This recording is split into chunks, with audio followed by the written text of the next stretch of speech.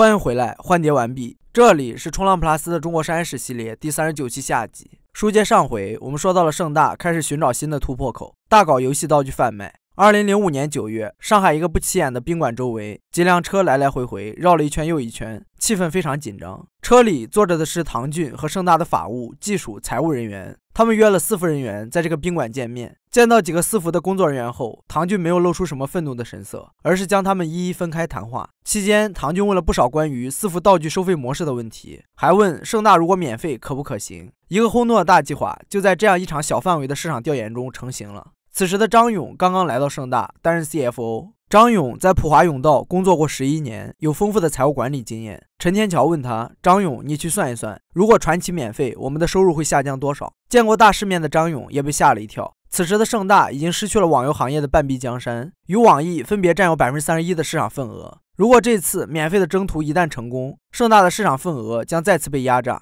陈天桥明白不能再犹豫了。于是，赶在征途内测之际，盛大高调宣布旗下主打产品免费，取而代之的是设立增值服务。消息一出，盛大股票暴跌，连华尔街都在担忧盛大是不是不行了。陈天桥已经惯于从这种九死一生的博弈中寻找机遇。面对责难，他立即反驳记者说：“夏天已经到了，就不要再用冬天的规则来要求我。华尔街的分析师不懂中国网游，我不会按照他们的思路来出牌。商业是一场持久战，一开始比的是灵感、勇猛和运气，接下来比的是坚韧、格局和理性。在业内一片质疑声中，盛大凯旋而归，收割了一大批用户。仅一个季度，盛大游戏玩家人数就增加了百分之二十。更让业界开眼的是，盛大玩家人均消费不降反增，由第一季度时的三十元提升到了第四季度时的五十五元。时至今日，免费策略早已在中国游戏市场广为推行。可当年陈天桥这一步走的却无比冒险。此外，开发一款游戏需要的周期长、耗资大且风险极高。一直以来，盛大除了传奇世界，再无亮眼的本土游戏。但天才企业家陈天桥再度找到了解法。二零零七年七月五日，盛大大手笔宣布收购风云的团队。此后，众多游戏公司闻讯而来，向陈天桥自荐。于是，陈天桥开展了风云计划，宣称凡是用户数、规模、品质达到风云水平的，都可以直接投资一个亿以上的人民币。这种新的合作模式，高效地解决了公司的游戏产品问题。众多国内游戏公司也纷纷更改开发方式，不再坚持完全自主研发，并引入免费模式代理国外网游，甚至也不排斥收购好的游戏团队。后来，陈天桥又主持开展了一八计划和二零计划，推动盛大游戏的研发、创新和运营。二零零八年十二月一日，盛大公布了二零零八年第三季度财务报告。报告显示，该季度净营业收入创下历史新高，达到九点三七亿元人民币。这个数据将主要对手巨人、网易甩在了身后。从游戏免费卖装备到收购游戏研发团队，陈天桥凭一己之力开启了中国网游的新篇章。在一次采访中，陈天桥回忆，盛大上市后，他陪妻子在上海复兴公园散步，不经意间看到一份报纸，才得知自己已经取代丁磊，成为了中国新首富。他把印着史上最年轻的首富的报纸铺在草地上，躺上去，闭起眼睛，这是他人生的高光时刻。但财富的威力远比他想象的更汹涌。尽管他依旧每天雷打不动地穿着白衬衫，出现在盛大食堂里，吃着十元的标准员工餐，但他的人生已经开始失控。一年前，在 CCTV 年度经济人物颁奖现场，主持人问陈天桥：“你的小孩长大以后，你让他玩游戏吗？”陈天桥回答：“当然，游戏是现在年轻人接触社会最好的方法。我六岁的小孩玩 Minecraft 已经是专家级了。”可事情突然急转直下，还是这一年，一个比他大四岁的男人叫了一辆出租车，开到社区加油站买了一些散装汽油。这台出租车畅行无阻地开到了盛大办公楼下。这个男人把油浇到身上，举起了打火机。大声要求跟陈天桥见面。他说不想伤害任何人，包括自己，只是希望解决问题。这位男子说的问题就是他在传奇里花钱买了很多装备，但这些装备是不法分子用外挂生产的样品，在外挂被盛大封了之后，这些物品消失了。他要求盛大归还游戏中被没收的虚拟装备。因为紧张，他失手点燃了汽油，火苗迅速爬上了衣袖。同一个报纸版面上，陈天桥从首富、明星企业家变成了罪人，盛大股价也一泻千里。同年五月，《今日说法》又报道了一个十五岁孩子因《传奇》这款游戏冲动杀人的新闻，点名批评《传奇》是精神鸦片，影响青少年的成长。网瘾专家陶宏开也炮轰陈天桥嗜血成性，一时间帮青少年戒网瘾风靡全国。压力从四面八方涌来，挤压着这位三十一岁的中国首富，他彻夜难眠，辗转反侧。舆论的质疑宛若一声惊雷，将陈天桥的生活炸得七零八落。他开始减少出席公开活动，更是不止一次通过媒体表示，传奇是个烂游戏，但盛大是家好公司。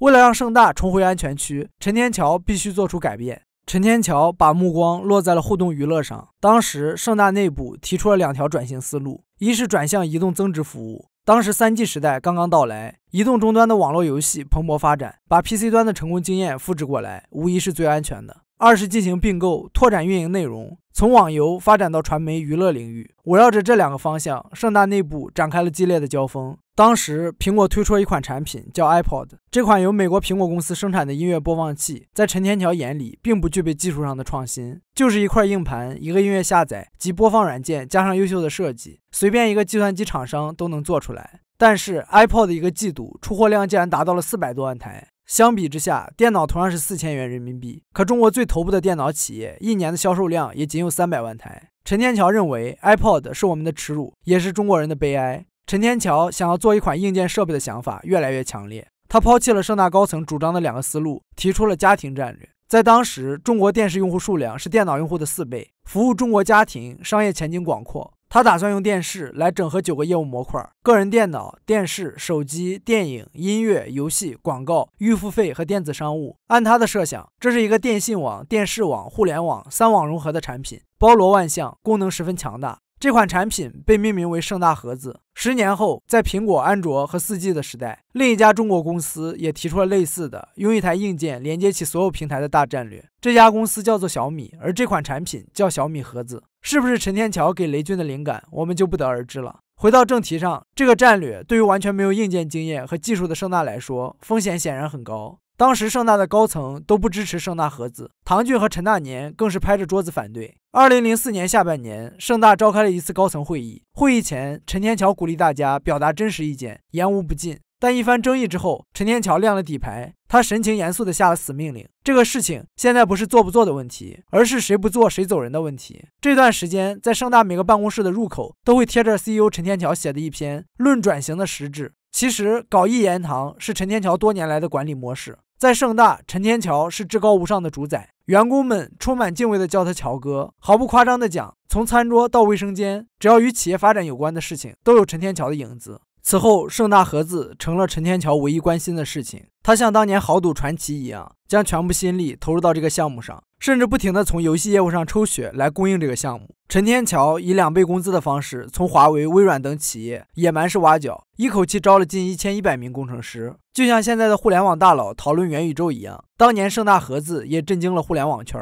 马云看完了盛大盒子的模型，兴奋地说：“就是这个方向！”当场敲定合作，满心期待淘宝登上电视。李彦宏也跟陈天桥一拍即合，给出了百度搜索和音乐下载的使用权。新浪的资讯、新东方的在线教育以及证券之星的股票服务都被装了进来。二零零五年一月，陈天桥对外宣布，盛大将进军网络电视，那是陈天桥最兴奋、癫狂的一段创业时光。他一度对外表示，就算卖了股票，也要做网络电视。坚定的新赛道，充满想象力的增长故事，陈天桥一脚就将油门踩到底。然而，问题接踵而至。盛大盒子在二零零五年三月确定战略目标，陈天桥希望这个目标在八月份就要实现。但是，比起深圳，在上海的盛大严重缺乏上下游产业链条的积累和布局，而且此时 iOS 和安卓还没诞生，盛大只能和当时的霸主微软、英特尔合作。盛大盒子研发进度难以推进，就算陈天桥亲自挂帅，项目研发仍未达到预期。原本计划在八月八日发布的产品，后来推迟到了八月十八日、八月二十八日、九月二十八日，最后赶在这一年结束前，耗资四点五亿美元的盛大盒子终于正式发布。但仍然比苹果 TV 的面世早了一年。由于当时的盛大盒子采用了英特尔的芯片和微软的系统，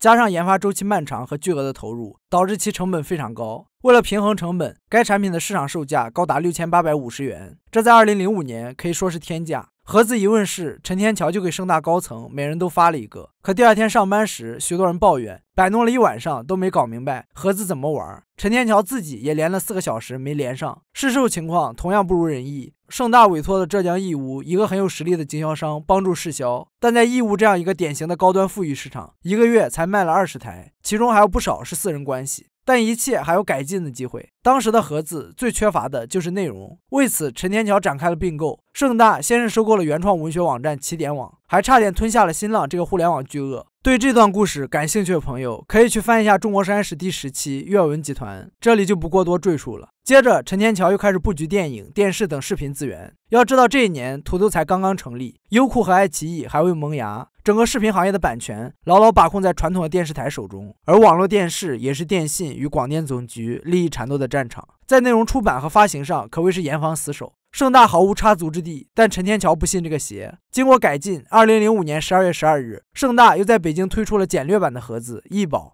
易宝分为两种，一种是基于个人电脑的 EasyPod，一种是基于电视与宽带平台的 EasyStation。巴掌大小，售价四百五十八元一套，包含一个遥控器、一块电视卡，还有配套的软件。虽然易宝依旧算不上一件好的产品，但陈天桥还是看见了曙光。因为价格便宜，第一个月医保卖出了一百万套。这个月，陈天桥出现在北京，手举盛大医保的遥控器，激昂地说：“比尔盖茨和保罗艾伦都想做这个东西，都失败了。但今天一个中国人做出来了，我要用我手中的遥控器开启三亿用户。”然而，此后几个月，医保的销量始终徘徊于几十万，再无增量。二零零五年五月十四日，国家广电总局颁发了网络电视业务的第一张牌照。并发布规定，开办网络电视业务的主体必须是省级或省会市的广播口直属单位。显然，盛大不属于这个范畴。到了二零零六年四月，广电总局更是直接以盛大为反面教材，一纸禁令叫停了他的所有网络电视业务。来不及惋惜或嘲讽，盛大盒子就迅速销声匿迹了。随后，盛大医保官方网站在二零零六年四月二十四日起也停止了更新。六个月后，广电总局先后向上海文广、央视国际等四家单位颁发网络电视牌照，盛大不在其列。事实上，二零零五年中国接入宽带的用户不过两千八百三十三万户，普及率仅仅为百分之三点八四，宽带网速也仅有五幺二 K。可以想象，即便盛大盒子全面铺开，受困于当时的网络条件，用户也很难获得游戏和视频业务的完美体验。而且，随着后来视频网站兴起，盗版横行网络。用户更加没有理由去购置盛大盒子。据统计，陈天桥在这个项项目上投入了近十亿美元，仅购买内容就花费了四点五亿美元。而二零零五年，盛大第四季度净亏损五点四亿元，与往年约两亿元的季度净利润形成了强烈反差。这一年，公司的两千多名员工陆续走了五百多人，甚至盛大副总裁兼 CFO 李蜀军也辞职。失控的局面从盛大盒子终了的那一刻开始弥散。二零零七年，张勇跳槽去了阿里，从此商界多了个逍遥子。马云还特地为此向陈天桥登门致歉。几个月后，唐骏离职，如同来时的仪式感，陈天桥又为他办了场隆重的欢送会。痛失左膀右臂后，陈天桥对时任新浪副总编的侯小强三顾茅庐。在侯小强确定加入盛大后，陈天桥对这员大将可谓体贴入微，甚至亲自打电话问他是否需要上海户口。二零零八年七月，在北京一家酒店，陈天桥高调宣布了侯小强出任盛大文学董事、CEO 的消息。四年前，在这家酒店，陈天桥也为唐骏举办过同样规格的欢迎会。但后来，盛大文学几经内斗，最终以侯小强出家收场。二零零九年，盛大游戏从盛大网络中分拆出来，独立上市，由谭群钊出任董事长兼 CEO。盛大游戏这次上市，募集了十亿四千万美元，再加上原有的历史积累，陈天桥手握二十几亿美元的现金。可他并不想把这笔钱用在盛大游戏身上，而是想要继续大规模并购，先打通产业链，形成平台，以后再慢慢梳理业务。此时的盛大已经多年没再出过爆款游戏了。谭群钊对陈天桥的战略存疑，他想先把游戏搞好，并提出要做一款叫《零世界》的网游。但盛大是陈天桥一个人的盛大，能左右盛大命运的也只有他一个人。谭群钊，盛大游戏 CEO 的职位有名无实，在陈天桥没有松口的情况下，他孤立无援。而手握巨资的陈天桥如愿开展起了轰轰烈烈的零九架构计划。一桩并购交易案从提交报告到交易完成，最短只需要两个星期。陈天桥游走于各大公司中间，有些老板抵抗住了他的攻势，比如 YY、迅雷、优酷、三六零。也有些老板欢欢喜喜拿了钱，成了这个互动娱乐梦的一员，比如华友世纪、酷六网、榕树下、潇湘书院。二零一零年十一月，盛大举行了十周年庆，甚至多位国家领导人也来公司视察。陈天桥意气风发，盛大帝国对外光彩夺目。谁都不知道，盛大内部已经千疮百孔。在零九架构下完成多家互联网公司并购后，陈天桥强行统一步调，仓促地要求各个独立内容业务板块与盛大在线牢牢捆绑，期间夹杂了诸多不情愿。最委屈的就是谭群钊手底下的盛大游戏，长期扮演着现金奶牛的角色，不仅需要将营收三分之一贡献给盛大在线，还需向集团输送分红。重负之下，盛大游戏沿袭了陈天桥的决策风格，一旦一个项目进展不利或表现下滑，就会立刻遭到抛弃。盛大游戏的高管们曾问陈天桥：“我们可不可以与外部寻求合作？可不可以不用盛大在线，不用胜付通？”得到的是陈天桥斩钉截铁回答：“不能。如果不用胜付通，用支付宝，那就是对我的背叛。”黄粱梦醒，天翻地覆，盛大游戏终于也到了撑不住的时刻。二零零九年，腾讯的网游收入一举超过了盛大，成为第一，并且凭借 QQ 拥有了比盛大更多的粘性用户。雪上加霜的是，陈天桥本人的健康也出了大问题。早在二零零四年，当陈天桥坐飞机从上海飞往北京时，他感到胸部剧痛。当时他认为自己是心脏病发作，于是，在飞机着陆后赶紧前往医院，但医生告诉他，他的心脏没有什么问题，问题在于惊恐发作症。到了二零一零年，陈天桥的症状愈发严重。天黑之后，陈天桥想出门散步，妻子洛芊芊都不放心，隔着一间屋子的距离，默默地跟在他身后。这一年，陈天桥还诊断出了癌症，只能出国求医。在国外治疗期间，他日渐倚重盛大总裁办。当时，盛大的总裁办有二三十名成员，多是年轻的名校海归精英，有着亮丽的背景。不过，他们大多没有实际从事互联网行业的经验，很有如今字节偏爱咨询出身成员的影子。有声音说，这群人之所以受重用，因为容易控制。在业务方向的争辩中，总办负责人常常以“也许我不懂业务，但我最懂乔哥”作为胜利的结语。而陈天桥赞赏当时的总办团队为最优秀的一届。二零一一年年底，身在国外的陈天桥反思了零九架构的失败，决定慢下来。次年，盛大完成私有化，随后他将自己疯狂买下的一系列边缘性资产全部出售，打起了收缩性战略。盛大业务中心开始回撤，但盛大已经回天乏术。二零一二年四季度，曾经不可一世的盛大游戏拼尽全力才完成每天四百万元的营收指标，还不到二零零九年的一半。二零一三年，盛大又被搜狐畅游超越，失去了网游行业前三的地位。这两年里，昔日曾跟随陈天桥打过江山的多位大将也都离他而去。当初陪他走进那套三居室的谭群钊、弟弟陈大年，还有爱将侯小强都离开了。谭群钊离职时，陈天桥给了他一个有功有过的模糊评价。弟弟陈大年离开后，陈天桥的有你签名改成了又是一年。而二零一三年年底，侯小强也辞去盛大文学 CEO 职务，宣布皈依佛门。盛大此刻几乎只剩陈天桥孤军奋战，疾病剥落了科技的优越，文明的安逸。常年掌控盛大、称霸互联网，甚至已经改变世界的陈天桥开始反思人生的意义。沉寂过后，二零一四年十一月，盛大网络宣布整体出售盛大文学，腾讯出资接手。同年年底，陈天桥又宣布卸任盛大游戏董事职位，抛出所有盛大游戏的股票。随后，陈天桥花了两年时间学习脑科学原版教材，又与斯坦福大学、哈佛大学、加州理工大学、麻省理工学院等世界一流名校校长会面。等二零一六年，大众再看到他的报道，是他用十亿美元作为基金，用于支持脑科学研究。同时，他还向加州理工大学捐款一点一五亿美元，成立陈天桥洛芊芊研究院，聚焦大脑探知、大脑相关疾病治疗、大脑功能开发这三大领域。珍爱生命，远离互联网，关爱脑部健康，或许成为了这位互联网教父新的人生信条。回顾陈天桥在互联网行业的十六年，领先时代四个字精准概括了他所有的战绩。两千年开发出中国第一个图形化网络社区游戏，运营了中国第一个动画网站。二零零一年打造了中国第一个爆款网游。二零零三年发明了移动电子支付。二零零四年首创了在线 K 歌软件。二零零五年宣布游戏免费，研发智能电视盒子。二零零九年率先试图构建互动娱乐大平台。